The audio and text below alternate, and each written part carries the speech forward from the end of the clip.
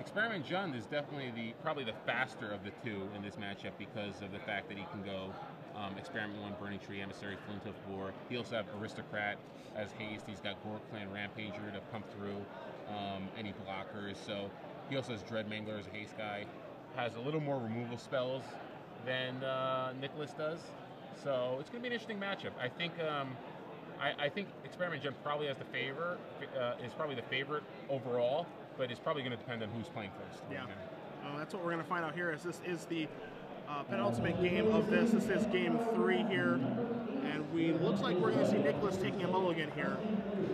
And Timothy looks happy enough with with his hand. Um, now, of course, we are in game three, so just very quickly looking over the sideboard options as Nicholas is going to shuffle here. Uh, Timothy on looks to be the draw.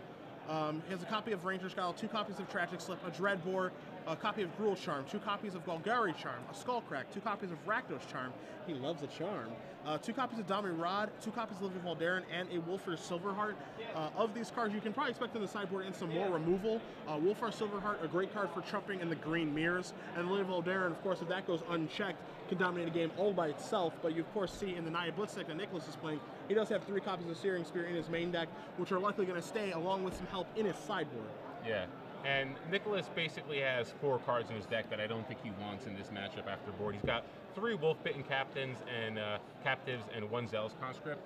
Um, neither of those cards particularly great in this kind of matchup, so I think he probably board those out for uh, uh a, a, third Huntmaster of Fells, which he has one in his sideboard, and um, probably three Oblivion Rings. Okay. Um, beyond that, he's got Thalia in his sideboard, a couple of Thundermaw Hellkites, um, two more Zealous Conscripts, and three Boros Charms, but those are really more controlish cards. Sure. Um, so yeah, I'd expect him to just bring in some a little more removal in Oblivion Ring and uh, uh, another Huntmaster, which is obviously uh, good in this type of matchup. Either way, Nicholas is off to a good start on his mulligan, as you do see Cavern of Souls naming Human and Champion of the Parish, but a play that we've seen quite a bit this weekend, I think we're going to see quite a bit moving forward. An untapped dual land and a tragic slip taking care of the champion before it gets out of control. Yep. Timothy going to go down to 18 to do it, but probably worth taking the two. So you're going to see a Temple Garden here from Nicholas. He's going to take two as well. So we're going to tie up the life totals. Now we're going to see a wolf bitten captive. Wow, kept it in. And, and make it two.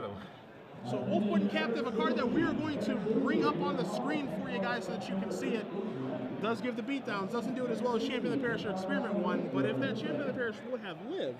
Oh yes, it yeah. would have been quite impressive. Yes. Um, as it stands, it's not very impressive, but uh, yeah, you know, um, so maybe he just felt like he wanted to be the aggressor. Game it's you know, it's game um, it's game three, so he's on the play. Maybe he just wants to be an aggressor. Doesn't care so much about the fact that they're they're not amazing in this matchup, but uh, you know they're fine. And, you know, right right now it's a situation where you can see Wolfbitten Captain can attack, um, but he's choosing to flip them. Uh, and you'll see the flip side I, I think they become, they become two twos, and you can pump them uh, I think they get like plus two, plus two. Yeah, they become they become. They're um, naturally just two twos. Yeah, they, yeah, they naturally become two twos, and you can pump them for four mana. So um, doesn't have a third land. You know he's got a Silverblade Paladin stuck in his hand. Um, but uh, it doesn't look like Timothy's got any removal. So well, I'm a little bit interested to see why he didn't attack there, just because you know the attack is pretty easy for him um, here. You know he can just he, first of all, Rakdos Cackler can't block, obviously. Experiment 1 is a 2 2 currently. So, you know, if he attacks with both of his guys, Experiment 1 can't block. Yeah. Because he just pumps it and kills it. So I think I feel like he probably missed out on at least two points of damage, potentially potentially four. Then he flips his guys. Now, does he want to be in a racing situation? I don't know. You know, because I don't know the contents of Timothy's hand. As you do see a Dreg Mangler here, and Experiment One's going to move up to being a three-three. So you know, it kind of it kind of begs the question on if sitting was correct, but you know, it, it feels like it may be now because it's, you see him getting crushed this turn. Uh, even still, though, I mean, I'm not sure what his plan is, what, what his plan was with, with by not attacking. You know, because um, blocks aren't good right his now. His blocks aren't good. Like he's basically saying, "All right, I'm assuming Timothy's not going to do anything on his third turn." You sure. Because that's the only way you could possibly like you can't even pump your guys. So if he attacks with both his creatures, you're just going to lose your guys anyway. Sure. You know? So I'm not sure what his plan was. So yeah, he ends up not not even blocking, so that not attacking last turn definitely um, seemed terrible.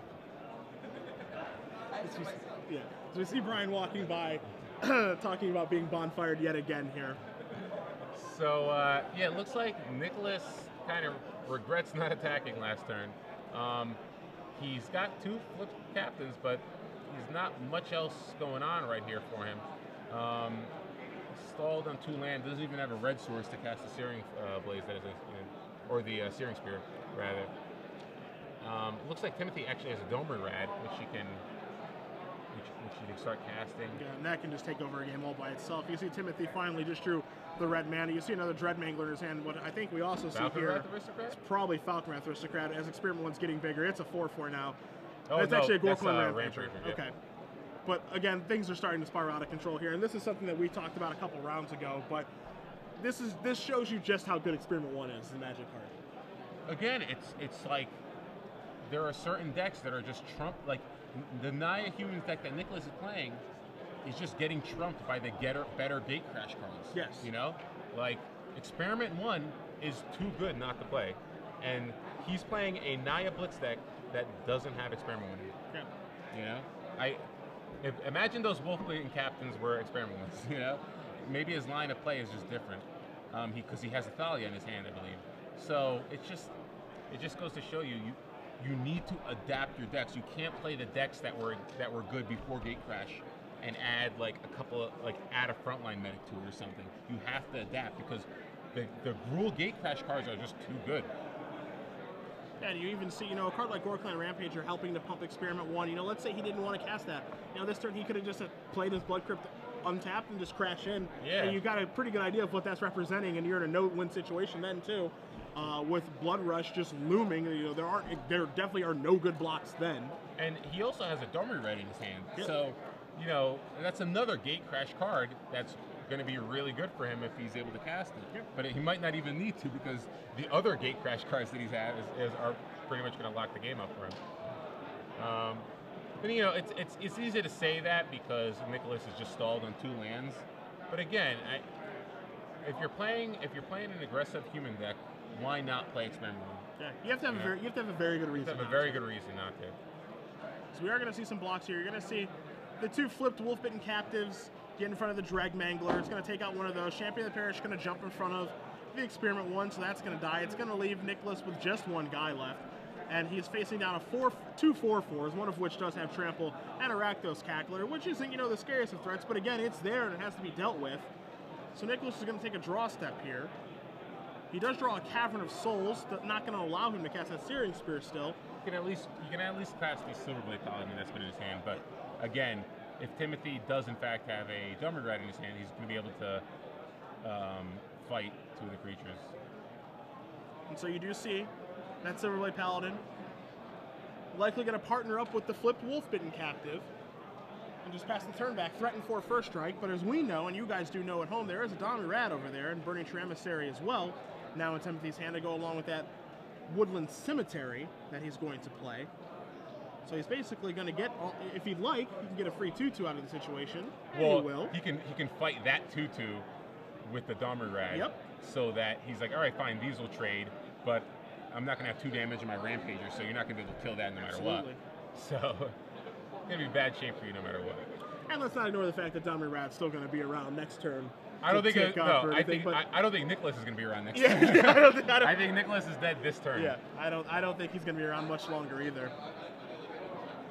Yeah, it's uh, you know, experiment one was just uh, an all-star. This game kind of showcased just how good it can be. And so right now they are going to check the Oracle text of of, of, something here. We're going to get a ruling in really quickly here. Um, and so that's going to happen here. It looks I like we're going to have uh, a fight. Nicholas was just getting a text from his mom. She was asking him why he didn't play experiment one. Yeah. He's like, I'm watching you on uh, Star City Live right now. Experiment one, son. Experiment one. Domri Rade fights Ghor-Clan Rampager in with the Silverblade Paladin. Now, of course, he can jump in front of the Rampager here, but that will actually leave him dead on the board because the two trample damage plus the four from the Experiment one is six, plus two from the Cackler is eight. So you see, Nicholas, Uh, as long as life totals are correct, Don't do that. Don't do that, Nicholas.